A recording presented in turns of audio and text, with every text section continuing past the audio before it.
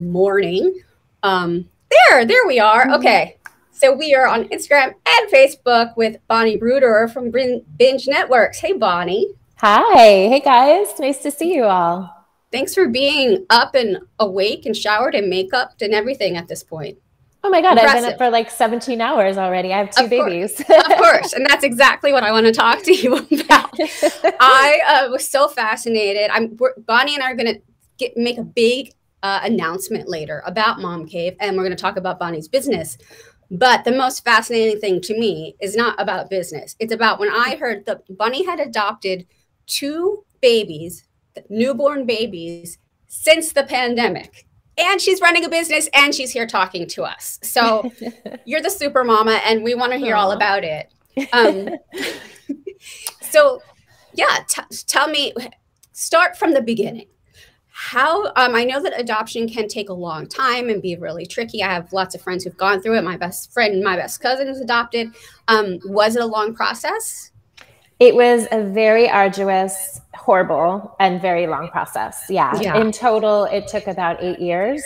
Um, wow obviously that's not what we're here to talk about today. We can do a whole show on that. But yes it took yes. a very very long time. Um, i have a whole other blog called disruptedmama.com on that whole topic. So oh wow. That's awesome. Yeah. i did not know about that. So we're going to put that in the comments. You never told me. I want to know about disrupted mama. Um, yeah.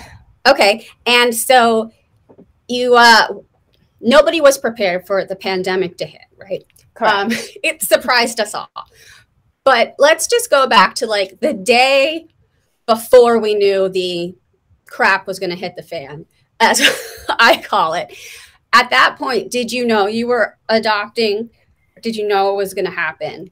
Yes. Oh my God, I'm getting chills because it's so exciting to think about that. So, here I was in Georgia. I was living in Atlanta, Georgia. Um, I'd had a horrible road up to adoption. So I was cautious uh, yes. or let's call it traumatized about mm-hmm. what was going to happen and i was waiting for my daughter who i was going to adopt to be born in st petersburg florida so as i'm watching cnn with the rest of the world and then yeah. talking to my family who's in california and they're already on lockdowns i'm realizing there's something about to happen and i need to get myself to the next state over because if i can't get to florida i can't get my baby yeah. So I pack up the car with the dog and book the Hilton in St. Petersburg. And that was my home for the next nine days, um, awaiting Olive. And true to my daughter's little sassy personality, um, she gave us two false alarms. So oh. once we were in the hospital for 42 hours with the birth mom, um, no baby. They let us go home. The next time, uh, seven hours no baby. You guys can go oh home. my goodness. And then the third time, I'd already moved into an Airbnb because the whole pandemic was really shaping up to be something, and I didn't want to be in a hotel. Sure. And so I booked an Airbnb here in St. Petersburg, and along came baby Olive on March 22nd. And wow. the lockdowns happened, I think, the 22nd as well. So by the time we left the hospital, I was with um, with my little baby girl. I took her to the Airbnb and we weren't allowed to leave the state. So Oh my goodness. That's what happened. What amazing timing. Um, we're just getting some comments of good morning from EJ. She watches all of our good lives. Morning. She's awesome. John uh, is saying hi, Bonnie, over on Instagram. That story gave me chills as well because having a new baby come into your family, come into your daily life is so disruptive yeah. exciting and wonderful, but terrifying. And then you are also like seeing that the world is shutting down and what's yeah. what's going to happen. Um, so, how long did you stay in Florida before you were able to go back home? Oh, uh, I can look out the window and see my Airbnb. so I'm still here two oh, years good. later. Okay, okay. Literally wow. right across the street. It's called the Yellow Submarine. Um, That's cute that's where I stayed for four months. And so I had a car seat, a pacifier, a bottle, and a bassinet. Oh, and a boppy to put boppy. her in. And yeah. that was it because I was planning on being here a week. And sure. thankfully, a friend was stranded too. And I had, oh, come to our Airbnb. We have three rooms. So I had a little bit of help Oh, good. Um, but I stayed there for four months, and partially, like initially, it was because of necessity. I wasn't allowed to leave the state. Uh, mm-hmm. There's something called ICPC, which is interstate adoptions, and of course, everything was shut down, so they couldn't clear that. Oh, but man. once I could, I lived in a high rise in Georgia, and I wasn't going to take a newborn, you know, in with this whole if we yes. all can remember how scary the virus was in the beginning. So um, I just kept re-upping and talked to the owners, and they'd shut down Airbnb. So they were happy to have a renter. I bet. We went offline, and one thing led to another. And I saw this house being built that we're in right now across the street, and I ended up buying it. I just thought, my daughter wants to live here. She, you know, she did a strong entry with her three tries. yes. And um, and so we ended up buying the house across the street. It was a brand new build. As soon as it was finished, we moved in. And um, that was, yeah, that's been our story. We met, oh you know, I knew nobody except for my one friend. And then one thing led to another, and we started to meet all of these other mamas. And it's been a really great experience.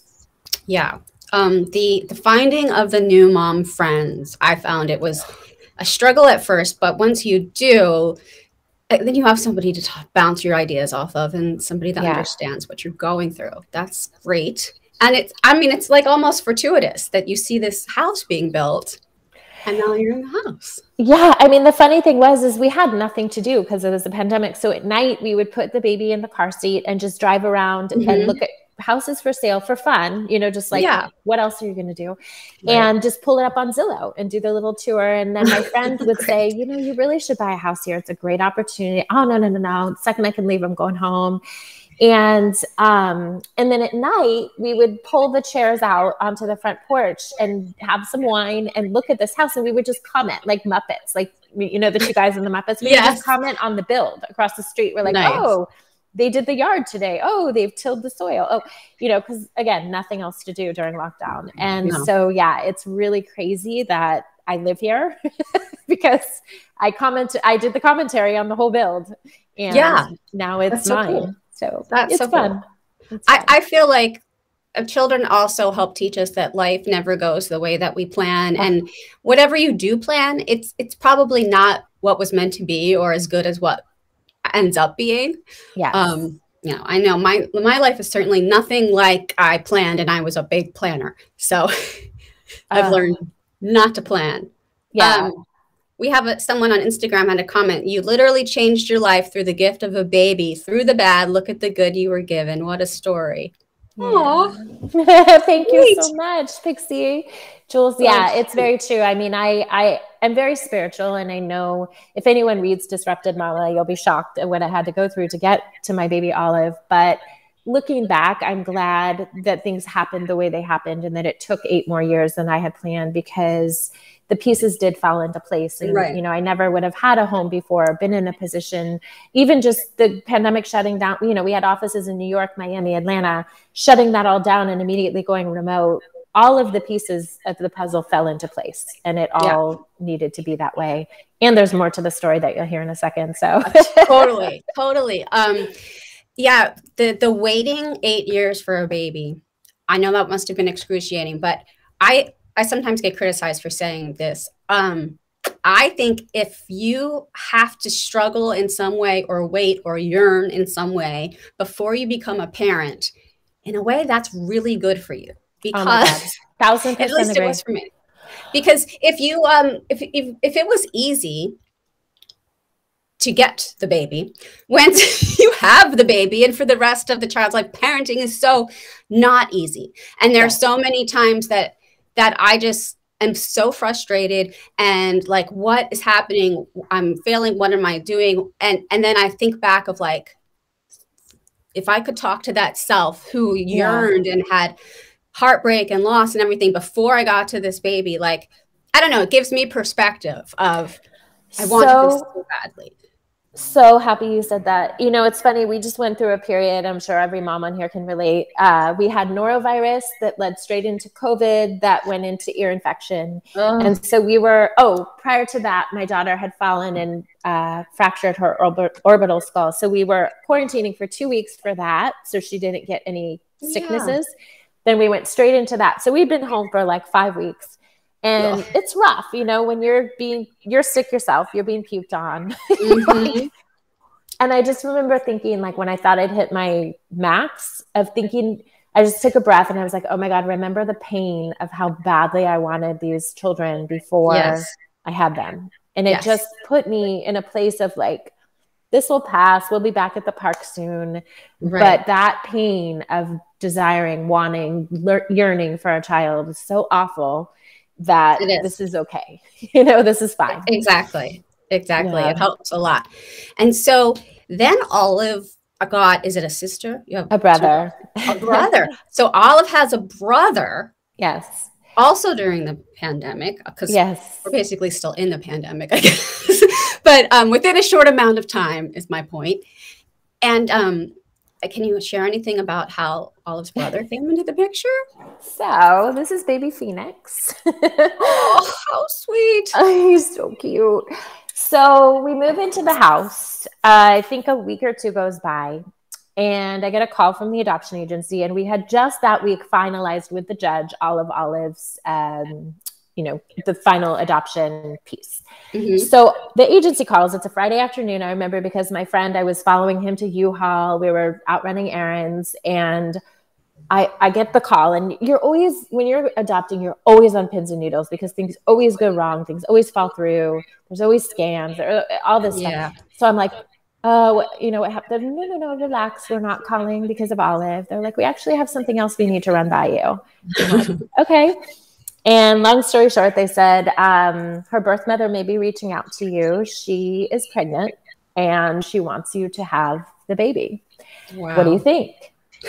And I'm like trying to, t- I'm in the turn lane. I'm like, I think I'm going to pull over. Mind blown. I'm going to run into something. If, oh my so, God. Mind you, I'm a new mom 11 weeks in by myself. It's a pandemic. Only 11 weeks. Oh my goodness. Yeah. I bought a house. I'm living in a different state. I'm trying to manage my company, work remote, you know, with my baby on my chest as I'm doing yeah. all my calls. And I'm like, okay. So I, I said, wow, you know, this is a lot of information. Can I have the weekend to think about it? And they're like, absolutely, take your time, but get back to us right away. But what do you think? You know, they're always like pushing. Yeah, yeah. yeah but Give us an idea. Take your time. But what do you think you're going to say? You know, mm-hmm. and I'm mm-hmm. like, uh, I'm not sure. Uh, you right. know, I said initially, like, I'm excited for this call, but like, I need to process all this. So go home, talk it over with my friend. It was, long story short, it was the hardest decision I ever made because I'd gone through so much to get to a baby. And here this was falling in my plate, on my plate. And I was never ever going to try again based on what I had gone through and the fact that they would have been siblings. It was just a lot of kismet and that I had an extra room in my house. I was like, that's weird. We bought an extra bedroom, you know, a four bedroom mm-hmm. house. Um, so I thought long and hard and had to go forward. You know, I'm a, I'm never a shy away from hard person. So I was like, okay, I can, I'll figure it out. I figured her out. She fortunately was a very easy baby. He was not. He rode in on like a wild bull and mm. kept riding for four months of just screaming and crying. And, but, you know, I, I did it. I'm so grateful. They're turning one and two. So they're one weeks apart. Wow. Um, oh my gosh. During his birth, he was he had some troubles breathing early on, and so they put him in the NICU. And I literally had to leave the NICU to come home to do her waffle birthday party and you know her one year birthday yeah. and then go back and then he came home the next day so wow. he came back when she was one year and one day you know i introduced oh i have one more present for you yeah. big present and well, when, when, she's like 10 or 11 she's not going to think it's as, as much of a present she's going to when they start fighting. Yeah, it's funny because you know any mom that has two, it breaks your heart all over because you're like giving them the best gift in the world, but also it is. it is. It's like every attention you take away from one, it's just the guilt and the. And I just re- now that I look at him, who's one, I'm like, oh my god, I can't believe I did that to you. You're so little. But they're so cute and sweet together, and it's really That's fun so to great. see yeah, it's been a crazy journey, crazy I year. Can't imagine. Uh, Megan is commenting. Good morning, hi Megan. I'm not really hi, watching Megan. the comments the way I should because I'm fascinated by this story. Thank um, you.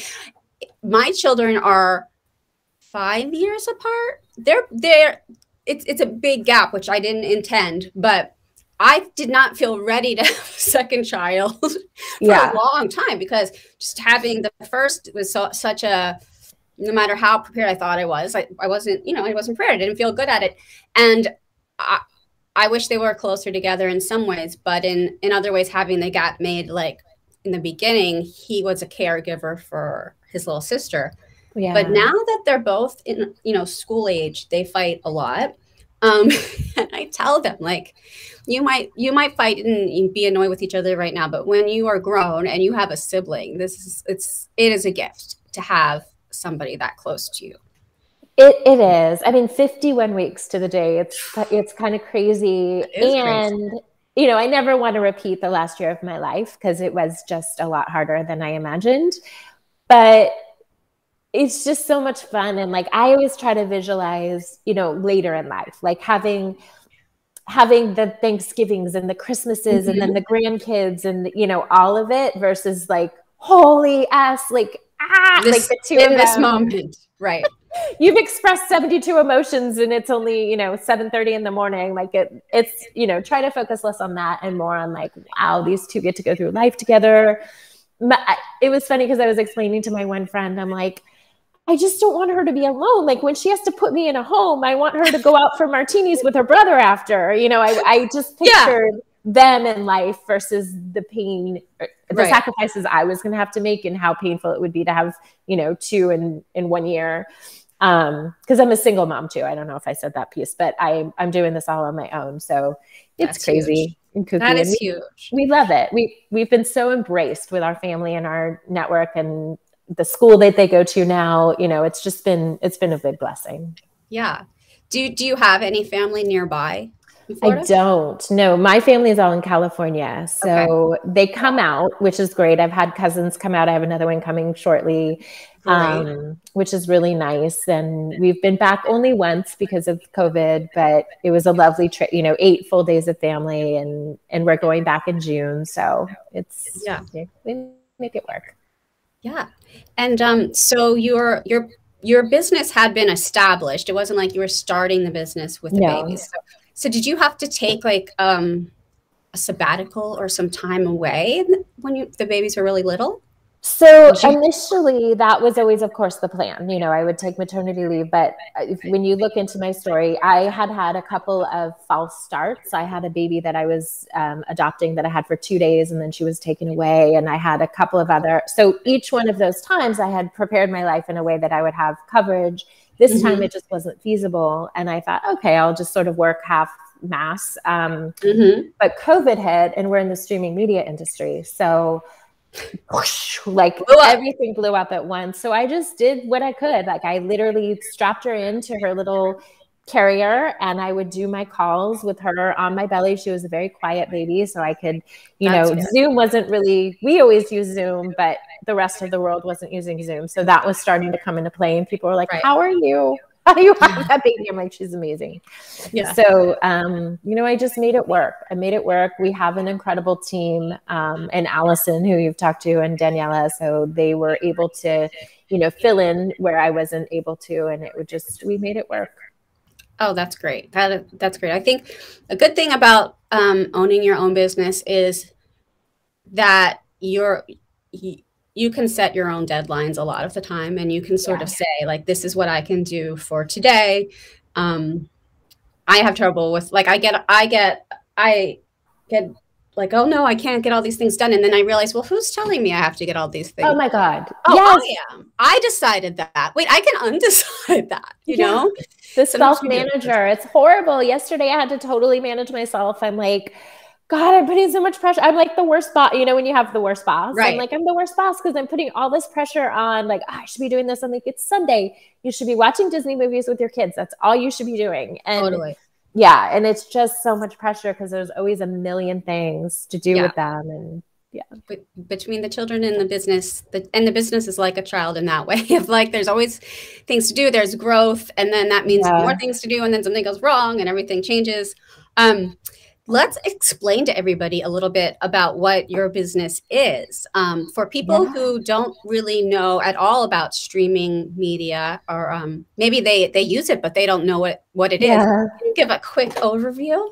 Sure. So wait, um, streaming is basically anything you're watching on TV. Like if you watch Hulu, Netflix, Amazon Prime, Disney Channel, all of that is streaming. And so what our company does is we work with shows like Mom Cave that are fantastic, but maybe don't know how to get into that world. You know, they're mastering Facebook and YouTube and Insta and all of those places.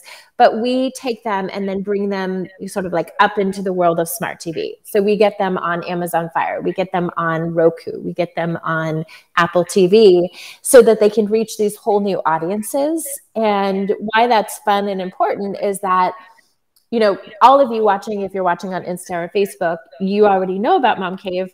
But in those instances, they have maybe 40 million subscribers in the instance of Roku that don't. And so we put you in a new audience and they start to watch and discover and become a fan of Mom Cave. And so, yeah, so that's what we do. And we do it for any creator, whether you have a food show, a travel show, a mom show, whatever the case may be. Um, those are our clients that we work with yeah so then i'm going to make that my little announcement. Yay, yay. um so mom cave is now on over 100 smart tv platforms through binge networks. Yes. And um yeah so we we've left the computer and the phone screen and we are coming to the tv screen and it's very exciting. Um I wanted to, I can show. Oh, we have an Amazon Fire app.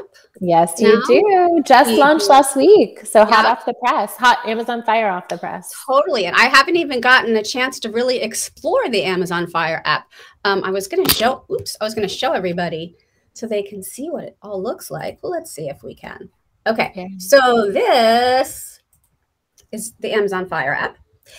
And this is what Mom Cave's channel looks like on Binge. So we have our series down here and um, slowly adding more. I was here, let me, let me make it stop showing the screen so you can see us now. There we go. I think we're back to us. Let us know. Um, I, so Mom Cave started out as a YouTube channel with um, me and two moms and a dad. And we had a couple of parent humor web series that were going to film festivals and stuff. And people said, make it a channel. So I always envis- envis- envisaged, I can't talk, I'm tired, envisaged, envisioned, envisioned. whatever. I imagined in my mind that Mom Cave would be um, a network of different shows for parents.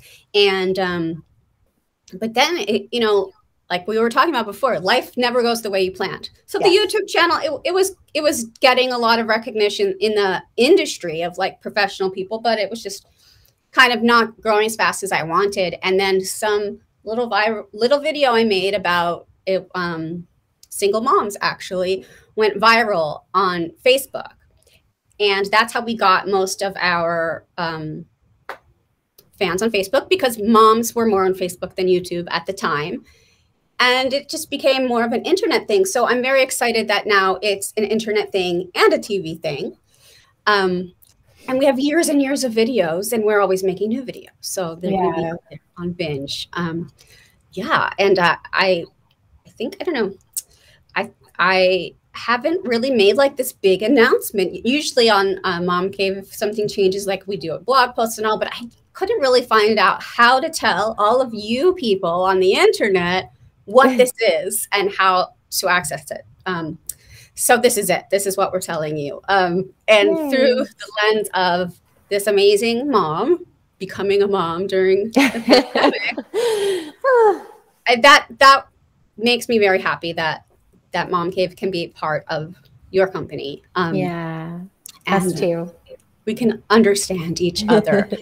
um, so does is binge on all the social media places can people find it is you? Yeah. yeah. Um, so we're more heavy on uh, smart TV. Obviously, you can find us on Roku, Amazon, um, Apple TV, but we are on Facebook, Instagram, Twitter, LinkedIn, all under Binge Networks. So at Binge Networks. Yeah. Um, and you can find great content there, all of our content partners, um, or bingenetworks.tv. That's our streaming platform. So if you want to watch all the Mom Cave shows, you can head there and watch totally. us there too yeah, you can just go, you know, if you on, on your computer, just like you could go to Netflix, you can go to binge networks and watch it on your computer.